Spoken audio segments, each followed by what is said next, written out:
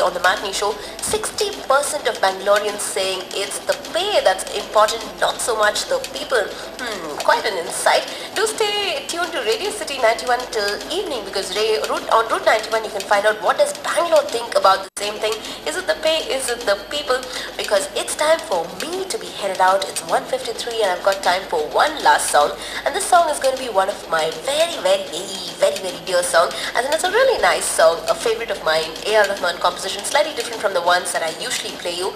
It's from the film Sapne. And uh, while I'm headed out, let me again leave you with my usual line saying be careful on the road. If you're driving, be really, really careful because traffic condition isn't like all that great in the city.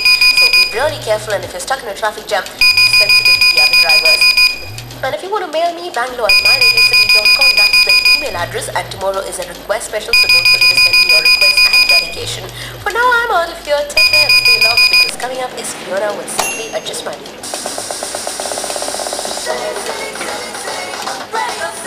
The Matinee Show with Sindhu, Sindhu with the Matinee Show.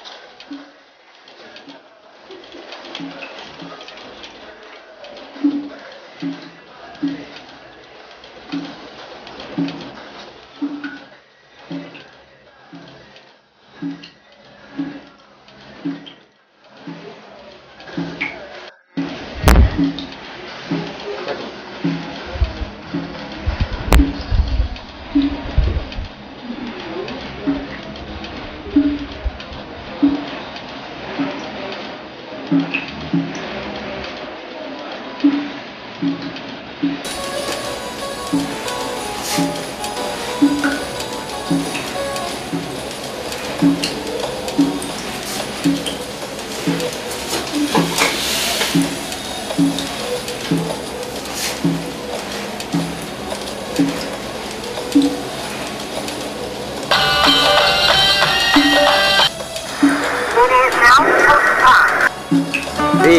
ಸಾಕು ಬಿಡ್ರಿ. Mobile ಫೋನಲ್ಲಿ ಮಾತಾಡೋದಿದ್ರೆ ಕನ್ನಡಿನಲ್ಲಿ ಮುಖ ಯಾಕ್ರಿ ನೋಡ್ಕೋಬೇಕು? ಸಾಕಷ್ಟು ಸುಂದರವಾಗಿದ್ದೀರಾ ಬಿಡ್ರಿ. ಅಯ್ಯೋ. ಈ ಜನಗಳಿಗೆ ಅದೆಂಥ ದುರಭ್ಯಾಸ? ಕಂಡ್ ಕಂಡ್ ಕಡೆಯಲ್ಲೆಲ್ಲ ತಮ್ಮ ಮುಖ ನೋಡ್ಕೋಬೇಕು ದಿನ ನೋಡ್ಕೊಳ್ಳೋದು ಸಾಕಾಗೋದಿಲ್ವೇ? ನೋಡಿ, ಇನ್ನೊಬ್ರು ಮಹಾಶಯರು ಬಂದು ನಿಂತ್ಕೊಂಡಿದ್ದಾರೆ.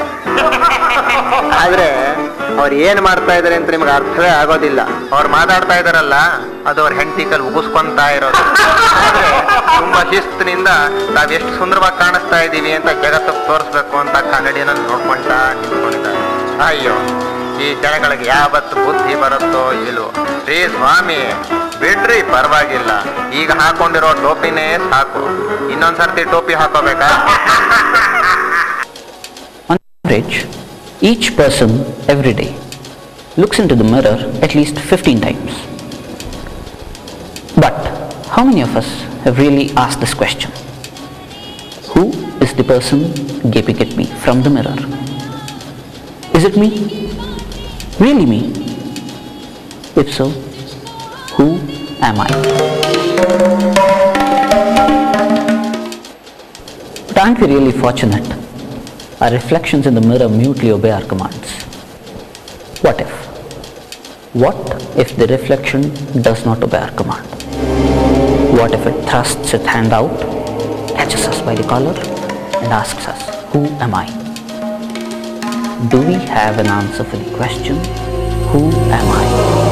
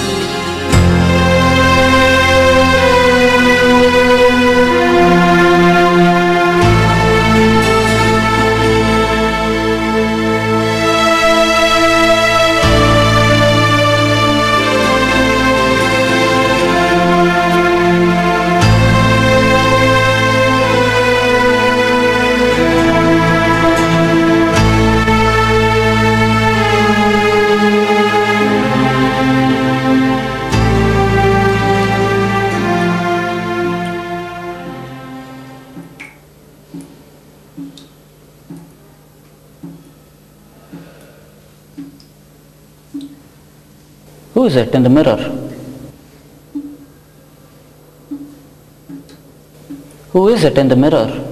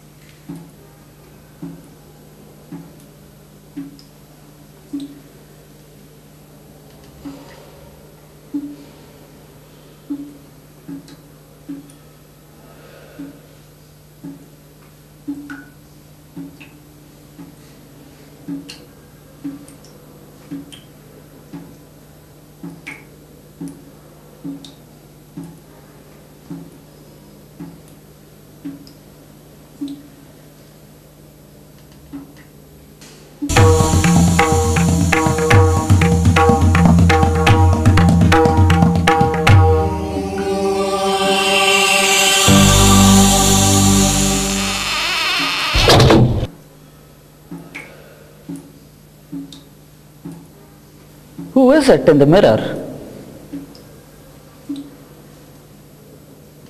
It's me. Is it?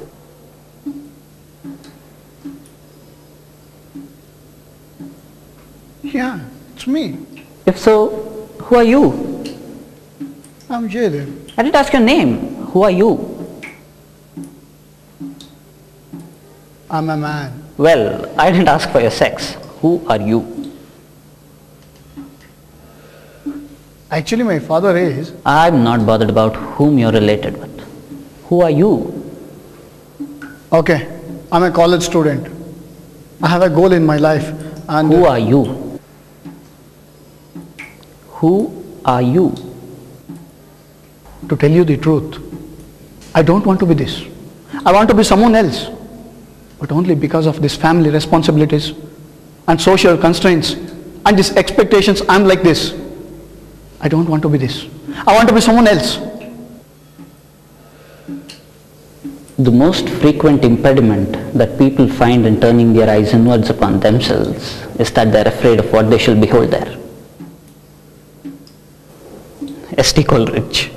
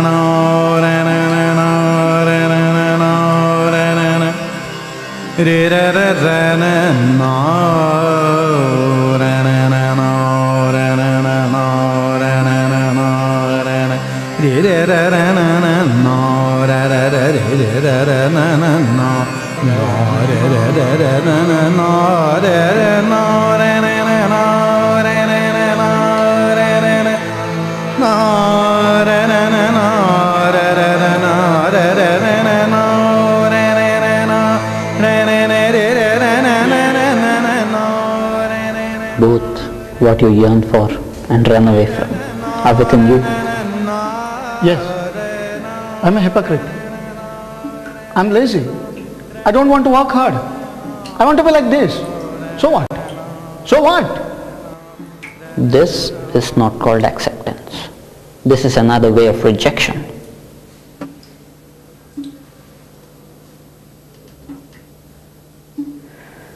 Well,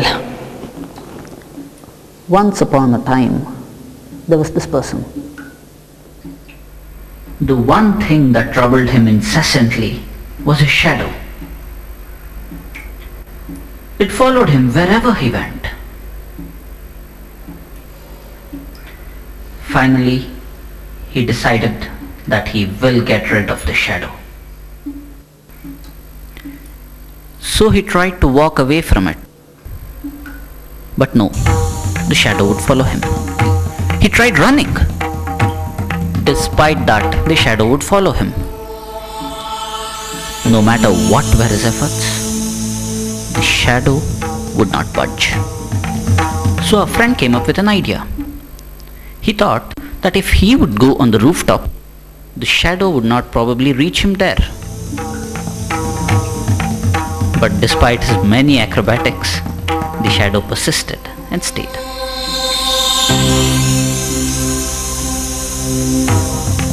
The shadow was far away, but its root was right at his toe.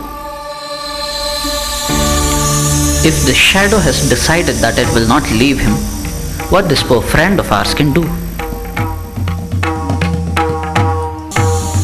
As a last resort, he tried running away from the shadow. He ran and ran and ran. Whatever were his efforts, the shadow would adamantly follow him.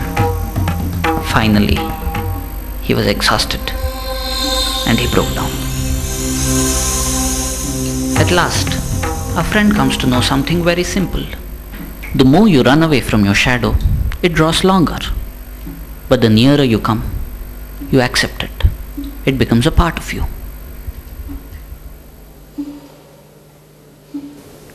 Up the whole responsibility on yourself.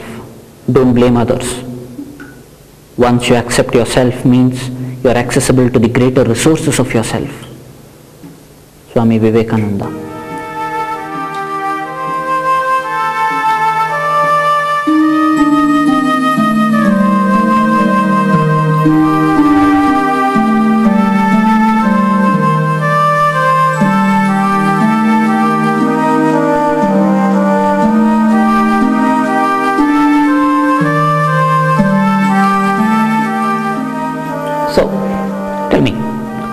are you?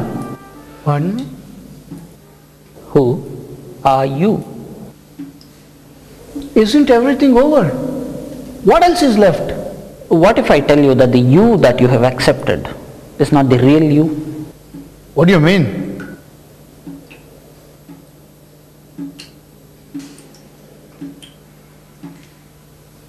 If you know who is me, please tell me.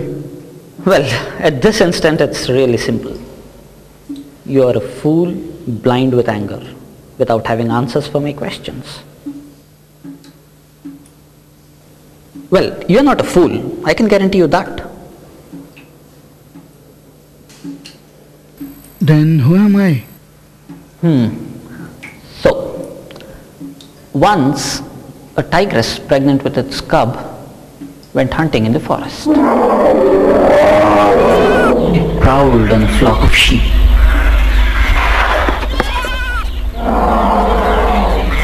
But unfortunately, the tigress died, giving birth to a cub.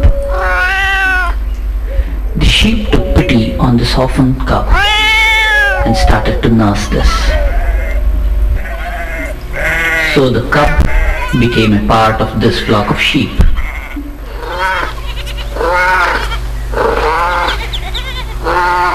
It was too happy, playing, bleating, eating grass, and blissfully being a part of this flock. It listened to the story of its ancestor sheep and completely believed it too was a sheep, forgetting thoroughly who really it was.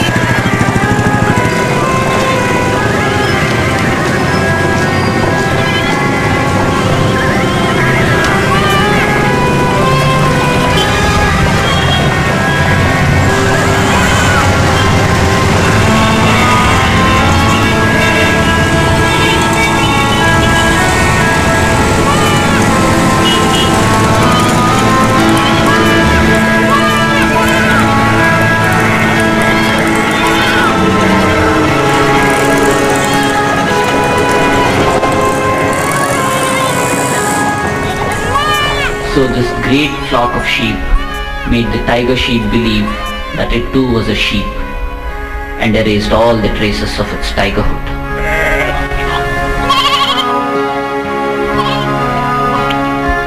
One fine day, another tiger came hunting in the forest. It was surprised to see this tiger sheep amid the flock of sheep. So it decided it would catch hold of this tiger sheep. Don't kill me, bleated the tiger sheep. But the tiger was surprised to see a tiger bleating. It said, hey look, you're a tiger and not a sheep. Why do you bleat? The tiger sheep said, oh no, I, I'm, I'm, I'm a sheep and not a tiger. I'll have to go home. But this tiger dragged this tiger sheep along to a pond and showed its reflection there. It said, look, I am a tiger and this is my reflection and that is your reflection. If I am a tiger and your reflection is like mine, you're also a tiger.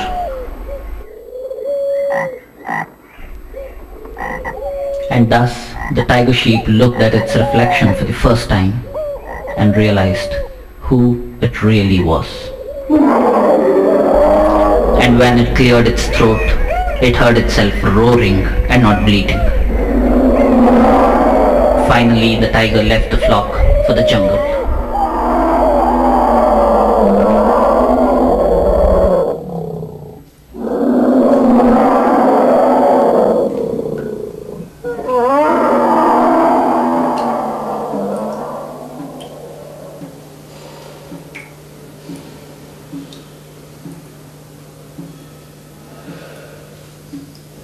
Is it possible?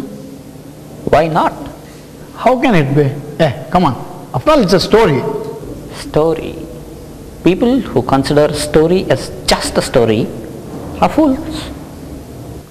Come on.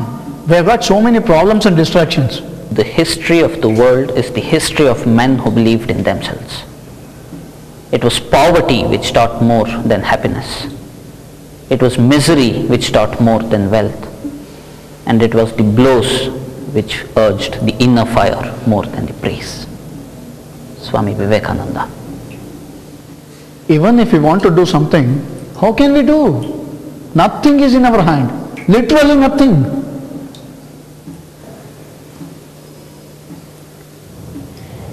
Once upon a time, there was this man.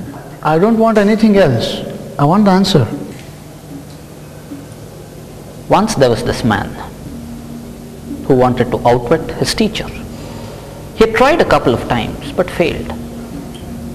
This time he thought he could succeed.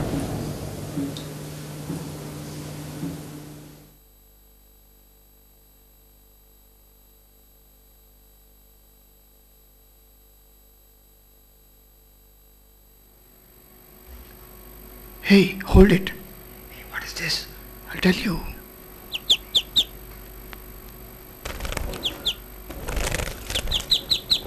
This bird is called finch. Why have brought it here? Wait, wait, I'll tell you. Be careful, okay? It's okay, it's okay. Now tell me, whether the bird in my hand is alive or dead? It's alive now. If you continue to squeeze it, it will be dead any moment. But why have you brought it here? Look, I will go to that guy and ask him whether this bird is alive or not. If he says it's alive, I'll just squeeze my hand and kill the bird. If he says it's dead, I'll simply open my hand and the bird will fly away. This time he should be wrong.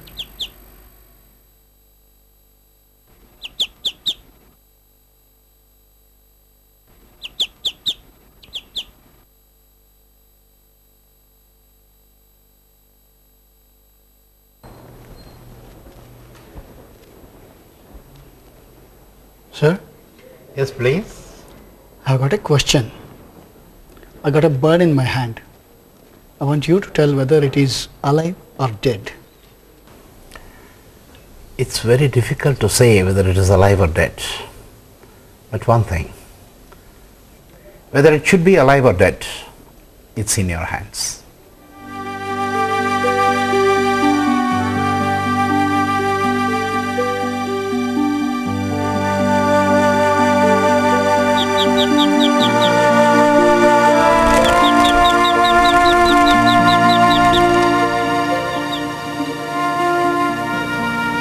I knew I was not a born genius, but by constant and continuous effort, perseverance, self-belief, and above all, self-introspection, I could achieve. Albert Einstein.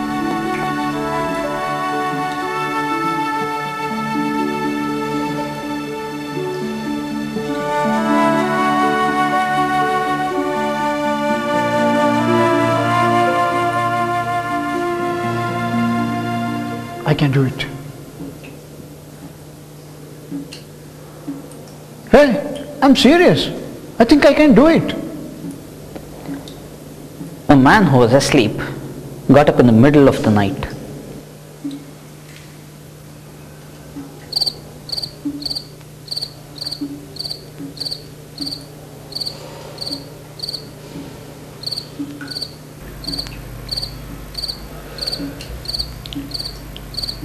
It was because a strange light hit him directly in the face.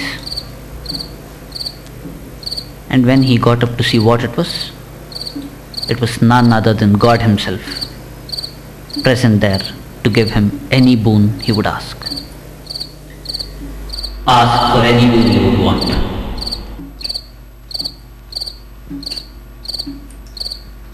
It's for you. Ask for a boon.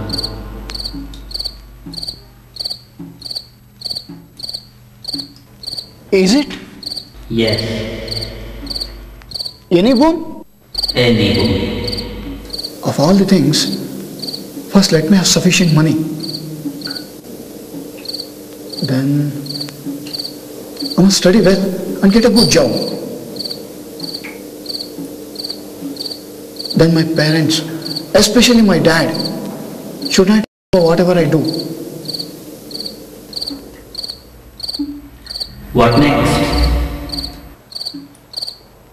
Then uh, then, then I must own a house as soon as possible.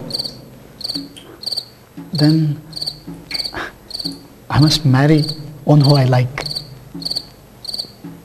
Then uh, I must get promotions frequently. Then I must be healthy. Is that it? Yeah, Anything more? nothing. Uh, one last thing. It's not only for me. Let it continue to my children. You know.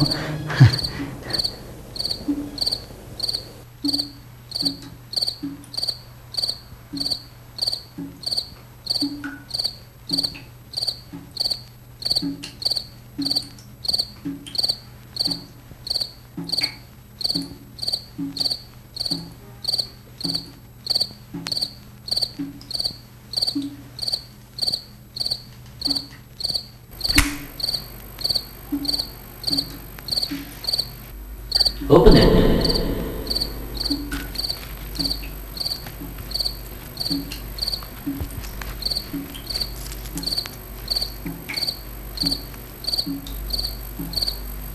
Seeds.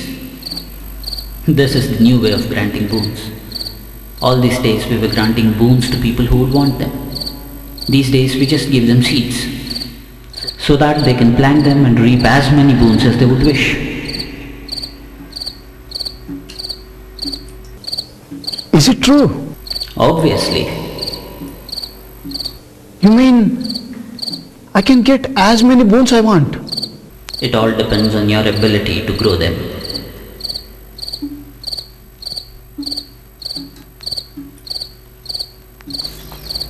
Next morning, when he really woke up from his sleep, he ran to sow these seeds.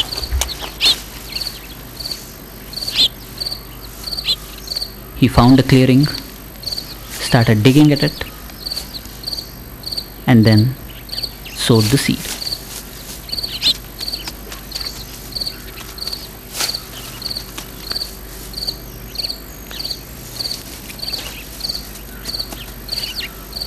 The seed sown, he was now waiting for the fruit. What a wonder! There was no fruit yet. He dug it up and then found another better place to sow this.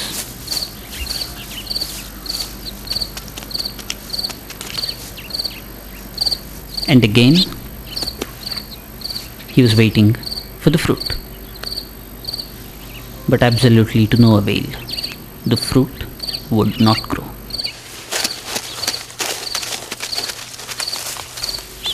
He thought the seeds given by God would yield fruit instantly. But the fruit wouldn't come. Therefore, desperate for the fruit, he started sowing these seeds in every nook and corner.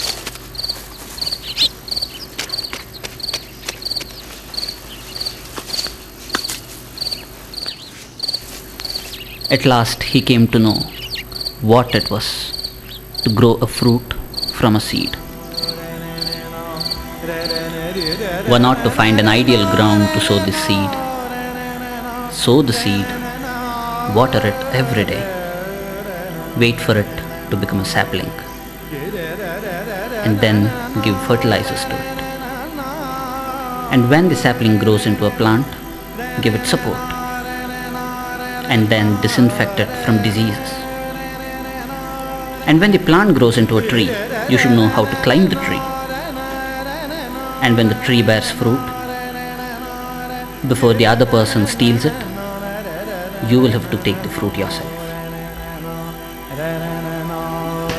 It's only after years of waiting and hard work that one gets the fruits of one's labor. So now you tell me, what is he supposed to do?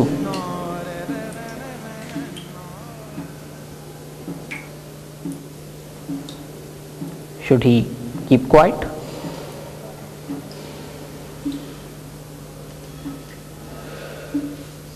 Who wants to pay the price for each fruit he gets? Everybody wants to enjoy the fruits which come effortlessly. But if they have to toil for it, hmm, they're not ready, isn't it? Isn't it? But it's very easy to curse your fate, blame others, and pity yourself, isn't it? Isn't it? Yeah. look.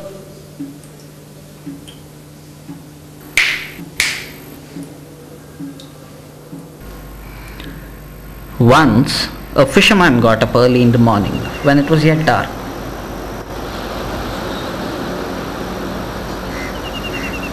He got up because he found himself awake and he thought since he was already awake, he could very well continue with his day.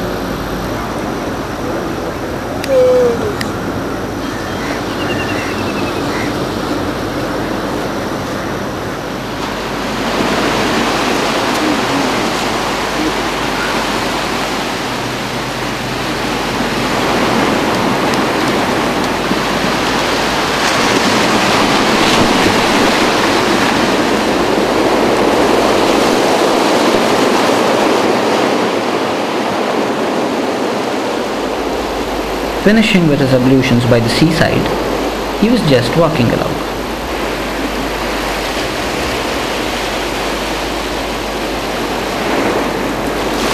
To his surprise, he found a sack by the sea.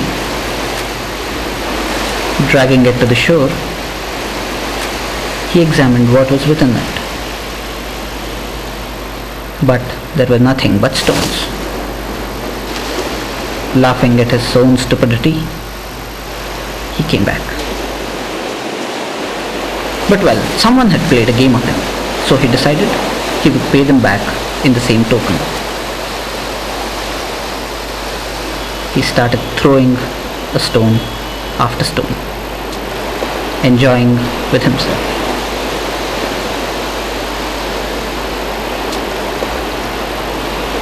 He threw stones one after the other and then in handfuls.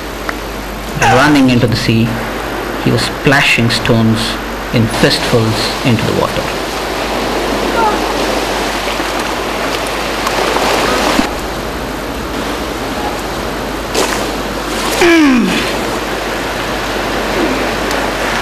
By sunrise, he had thrown away all the stones, but for the last two,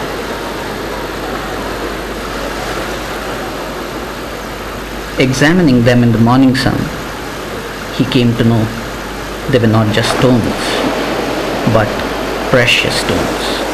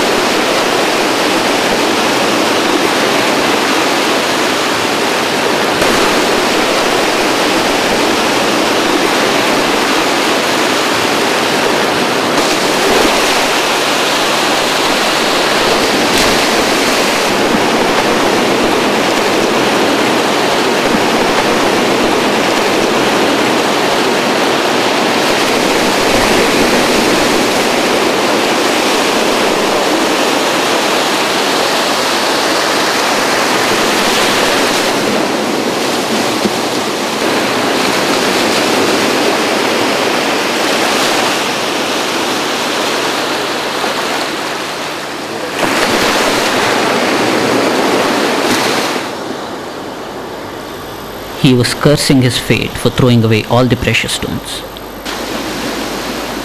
But he failed to understand that just beside him there were still two more precious stones with which he could make a fortune. Life has an inner dynamism of its own to grow, to be expressed, to be lived. It seems that if this tendency is thwarted, life undergoes a process of decomposition and changes into energies directed towards destruction. Erich Fromm.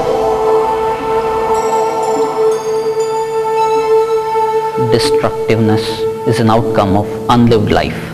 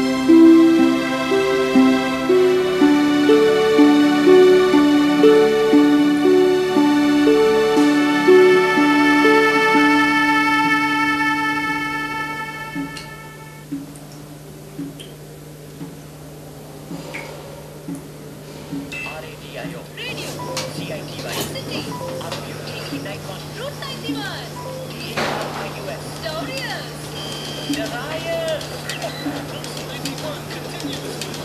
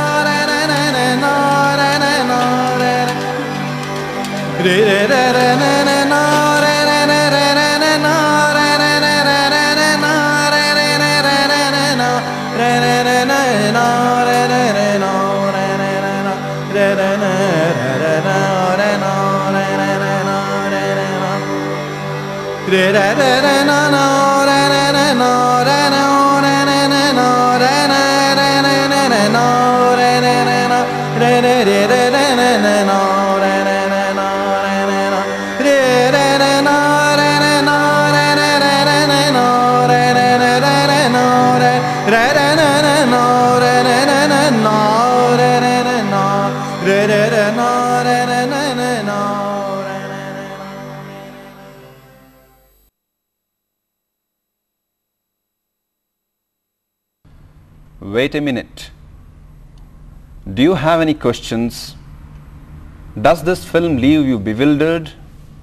Yes, the film is based on certain psychological facts. Please wait a minute. Your questions, our answers. What a fictional movie it is. A young man getting into a kind of a dream, encountering an imaginary somebody in the TV, then in the mirror and so on, and finally waking up as a changed person. How unreal. Though set in a series of fictional happenings, the film deals with a real theme. The young college student is representative of modern youth, confused, disorganized and misled. In fact, even many grown-ups are in the same state in varying degrees as the young man in the film. Interestingly, they are not even aware of this, nor do they attempt to change themselves for the better. Perhaps a small number of people understand that all is not well, but are often unwilling to accept it. Is it not a genuine problem? The person in the mirror represents our real self. We rarely encounter it, but when we finally do, how firmly we avoid it. In the film, when his real self first appears on the TV, the young man just pays no attention to it. But when left with no alternative, he looks so amazed and finds it hard to believe. This is how the journey to self-discovery commences and then passes through numerous stages. Unwillingness to wake up, surprise, evasive answers, and finally self-acceptance and self-knowledge. Towards the end, the young man tries to set the clock right. This marks the much awaited awakening in his life. This is how one travels towards the truth of one's real self. The man in the mirror, he finally learns, is his real self. This is the real discovery and the film is all about that. A little more about the process of self-discovery, please. Well, just recall what you saw. The young man's inner journey passes through many stages. Our real self is concealed underneath different kinds of masks. To unmask it, we have to introspect and repeatedly question our beliefs about ourselves. This is how the knowledge about oneself gets unlocked. When one tries to know oneself, a new path opens before him. He finds a new meaning in all his thoughts and actions. Then he does not try to run away from his own shadow, nor is he afraid of confronting the man in the mirror. The story of the lion cub regaining its lion identity is the first step towards self-discovery, that is, self-acceptance. This leads to self-responsibility which is presented through a bird episode. The bird in hand symbolizes our life, our future. We are truly the makers of our own destiny. We can kill it or infuse fresh life into it by living consciously and sensibly. The young man, like everyone else, wants wealth and happiness. He sows the seeds but refuses to wait for their germination. His impatience expresses itself in his frantic efforts to scatter the seeds aimlessly. And then dawns on his mind the need to cultivate patience and purposefulness. This is the second step.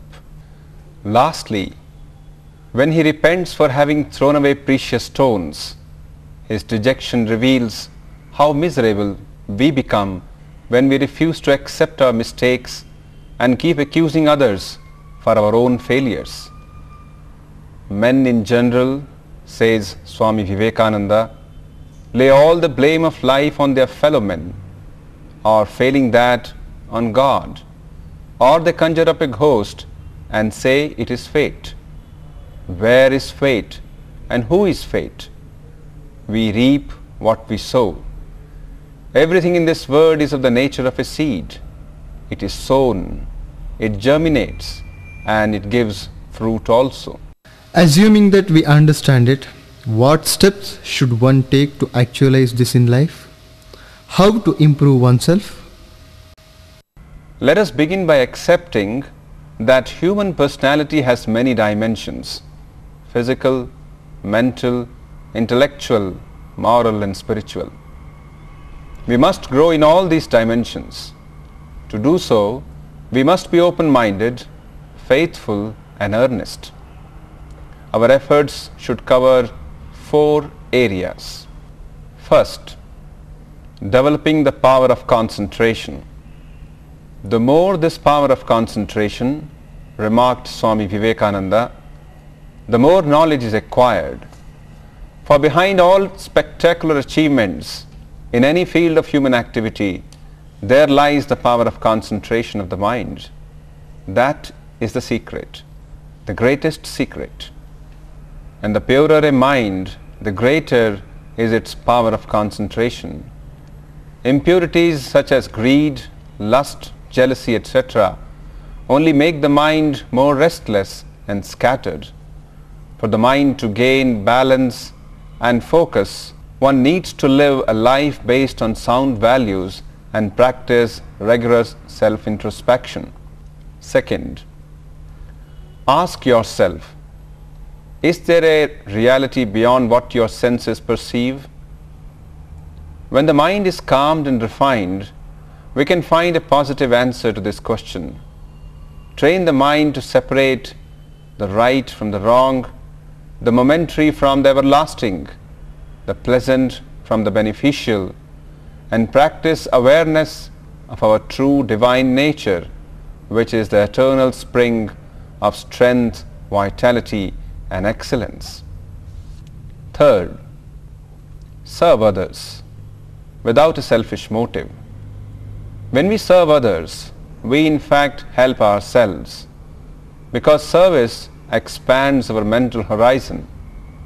When we serve, we discover something nobler than our ego and selfishness and this makes us truly joyful and fulfilled, says Albert Einstein, the renowned scientist.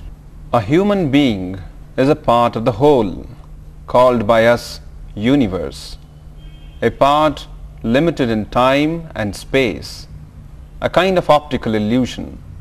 This delusion is a kind of prison for us, restricting us to personal desires and to affection for a few persons nearest to us. Our task must be to free ourselves from this prison by widening our circle of compassion to embrace all living creatures and the whole of nature in its beauty. Service thus dilutes and thins down the veil of separation from others and makes us truly kind and compassionate. Fourth, developing an attitude of respect and devotion towards life and the power that sustains it. This loving attitude releases positive energy and provides us emotional balance, which in turn enables the mind to explore areas which were otherwise inaccessible. Devotion to higher ideal promotes well-being and happiness. Finally, this film is an attempt to visualize the timeless truth that man can make or mar his life. It's a question of how much we are willing to work to improve ourselves. It is an eternal quest, relevant to everyone, everywhere, at all times. For self-knowledge alone makes a complete man. Right?